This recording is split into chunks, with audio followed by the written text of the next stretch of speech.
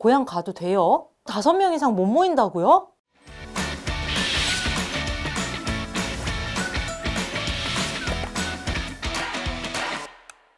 안녕하세요. MC 아리입니다.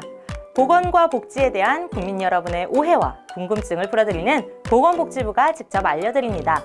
오늘은 설 특별 방역 대책에 대해 2021년 2월 3일 기준으로 복지부가 직접 설명해 드리려고 합니다. 함께 보시죠. 조금 있으면 설날인데 고향 가도 돼요? 지난 1월 27일부터 2월 2일까지 하루 평균 국내 환자 수는 390여 명 수준으로 거리두기 2.5단계 기준 범위에 근접한 상황입니다.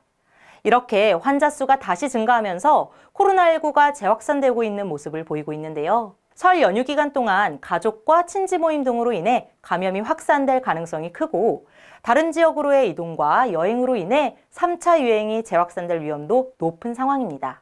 지금은 긴장을 늦출 수 없는 시기입니다. 따라서 정부는 설 연휴를 포함한 2월 1일부터 14일까지를 설 특별 방역 기간으로 정하고 5인 이상 사적 모임 금지 조치를 설 연휴까지 유지합니다. 이번 설에는 고향과 친지 방문, 여행을 자제해 주실 것을 당부드리며 가족 간에도 4명까지만 모일 수 있음을 알려드립니다. 가족끼리도 다섯 명 이상 못 모인다고요? 네, 그렇습니다. 5인 이상 사적 모임 금지 조치는 설 연휴에도 예외 없이 적용됩니다. 따라서 설 연휴 기간 직계 가족이라고 하더라도 사는 공간이나 지역이 다른 가족끼리는 최대 4명까지만 모일 수 있습니다.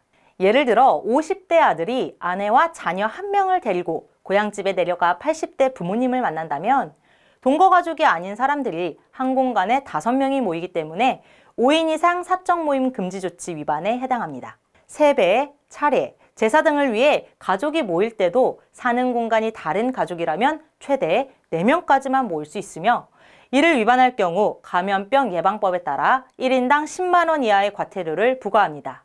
고령층은 코로나19에 취약하기 때문에 연로한 부모님들은 감염 위험에 더 많이 노출되어 있습니다. 지금보다 상황이 더 심각해지는 것을 막기 위해 시행하는 5인 이상 사적 모임 금지 조치에 국민 여러분의 적극적인 협조를 당부드리며 소중한 가족을 지키기 위해 만남보다는 마음으로 함께 해 주시기를 부탁드립니다. 설 특별 방역 기간엔 뭐가 달라지는데요? 정부는 2월 1일부터 14일까지를 설 특별 방역 기간으로 정하고 특별 방역 대책을 마련해 시행합니다. 우선 교통수단과 교통시설 방역을 강화합니다. 철도 승차권은 창과 좌석만 판매하고 연휴 기간 전체 이동량을 줄이기 위해 지난 추석 연휴와 마찬가지로 고속도로 통행료를 유료화합니다. 또한 고속도로 휴게소의 혼잡한 정도를 미리 알아볼 수 있는 혼잡 안내 시스템을 운영하고요. 휴게소에서는 음식 포장만 허용합니다. 또 안전한 추모를 위해 지난 1월 18일부터 온라인 추모 성묘 서비스를 제공하고 있는데요. 2월 넷째 주까지 봉안시설은 사전 예약제를 시행해서 시간대별로 나누어서 운영합니다. 설 연휴 기간 음식점과 카페, 감염 취약 사업장, 방문 판매 시설, 요양병원, 요양시설과 같이 감염 확산 위험이 높은 시설은 방역 점검을 강화할 예정인데요.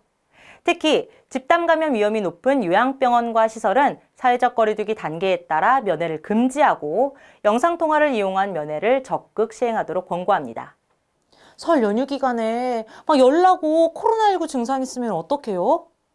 설 연휴 기간에도 방역과 의료 대응 체계는 빈틈없이 운영됩니다. 연휴 기간 코로나19 상담을 받을 수 있도록 1339 질병관리청 콜센터를 24시간 운영하고 비상방역 대응 체계를 상시 가동합니다.